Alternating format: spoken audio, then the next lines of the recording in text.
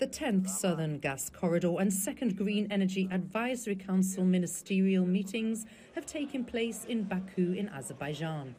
High on the agenda was the exploration of united goals to ensure long term energy security, diversification of supply, as well as a transition to green and renewable energy.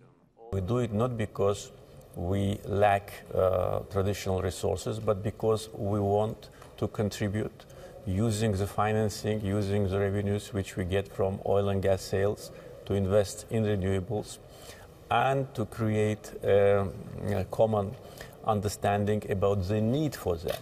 The strategic energy partnership between Azerbaijan and the EU was also discussed, along with the achievements and next steps in the operation and development of the Southern Gas Corridor. Azerbaijan last year increased their gas exports by 9%, up to 22 billion cubic meters. Currently, their main buyers in Europe include Italy, Greece, Romania, Hungary, and Bulgaria. There are many uh, new uh, partner countries who are willing to receive uh, even additional volumes of natural gas, despite the fact that we are transitioning away from fossil fuels, but uh, this takes some decades. Uh, now we want to well establish also the future-proof cooperation. And that collaboration across the industry is seen by many as a key to its further development for the foreseeable future.